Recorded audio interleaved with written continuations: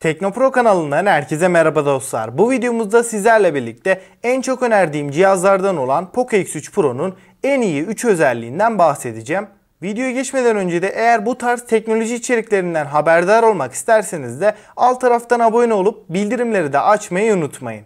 Şimdi ilk özelliğimize başlarsak burada Poco X3 Pro'nun ekranından bahsedeceğim. 6.67 inçlik Full HD Plus gibi güzel bir çözünürlüğe sahip olan ve bu ekranın en can alıcı noktası 120 Hz tazeleme ve 240 Hz dokunma hassasiyetine sahip olması. Bunun yanında bu ekran IPS LCD bir panelle de geliyor. Açıkçası Poco X3 Pro'nun bu ekranını diğer rakiplerinden ayıran en önemli detayı ekran yenileme hızını 120 Hz aldığımızda da pil tüketimini dengeleyebiliyor olması. Yani pil tüketimini nasıl düşürdüğünden de hemen bahsedeceğim bahsedeyim. Ekranı 120 Hz aldığımızda da bize adaptif bir yenileme hızı sunuyor. Yani bu sayede oyun oynarken veya sosyal medya uygulamalarını kullandığımızda ekranın yenileme hızı 120 karede çalışırken herhangi bir video dizi film izlediğimizde mail uygulamasını kullanırken veya internet sitesinde bir haber okurken ekran tazeleme hızını 30 kareye kadar düşürebiliyor. Bu bize kullanım deneyimi açısından kesinlikle kötü bir hissiyat yaratmıyor. Yani ekranın ani kare düşüşlerine bağlı olarak takılma donma problemlerini bize yaşatmadığını söyleyebiliriz diyebiliriz. Xiaomi burada güzel bir yazılımla adaptif yenileme hızını optimize etmiş diyebilirim. Yani dostlar adaptif yenileme hızı özelliği olmayan telefonlarla kıyasladığımızda Poco X3 Pro'nun 120 Hz'lik ekranı batarya tüketimi açısından da diğer ekiplerinin önüne geçmesini başarıyor. Eğer bir Poco X3 Pro kullanıcısıysanız oyun harici gündelik kullanımda 120 Hz'de telefonu kullanarak da rahatlıkla bir günü çıkartacağınızı düşünüyorum.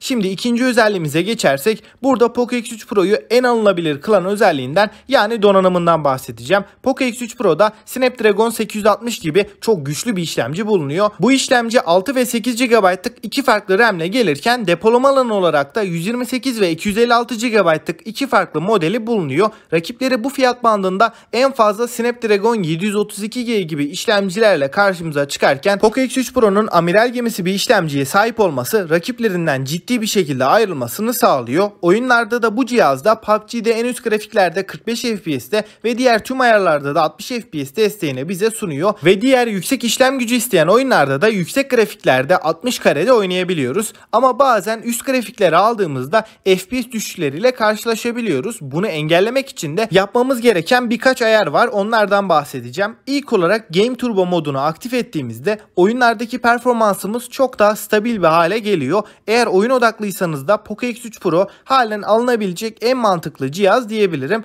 Oyun harici gündelik kullanım tarafında da en iyi performans almak istiyorsanız yine ayarlara girerek buradan performans modunu aktif edip menüdeki akıcılığı ve arka plandaki uygulamaların da daha hızlı bir şekilde çalıştığında net bir şekilde görüyoruz. Eğer benim yapmış olduğum bu ayarları uygularsanız da telefonunuzdaki performans artışını rahatlıkla hissedeceksiniz. Şimdi Poco X3 Pro'nun en iyi olduğu 3. özelliğine gelirsek burada cihazımızın ses performansından bahsedeceğim. Poco X3 Pro'da stereo hoparlör sistemi mevcut ve bu hoparlörler gerek video izlerken gerekse oyun oynarken gerçekten iyi bir ses deneyimini bize sunuyor. Ama en yüksek ses seviyelerinde X3 Pro'nun arka kapağında hissedilir derecede bir titremeyle karşılaşıyoruz. Bu cihaza kesinlikle bir zarar vermiyor ancak uzun süreler telefon elimizdeyken bir şeyler izlediğimizde elimizi biraz yorabiliyor. Fakat Poco X3 Pro'nun özellikle sesleri berrak ve pürüzsüz bir şekilde aktarabilmesi konusunda da kendi fiyat bandının en başarılı modeli olduğunu da gönül rahatlığıyla söyleyebilirim. Evet dostlar bu videomuzda Poco X3 Pro'nun Pro'nun en iyi 3 özelliğine ve performansını nasıl daha da arttırabileceğimize değindik. Eğer bu tarz kısa ve telefonlarla ilgili yapılacak ayarlar videolarının gelmesini istiyorsanız da alt taraftan videomuzu beğenmeyi ve bu tarz teknoloji içeriklerinden haberdar olmak için de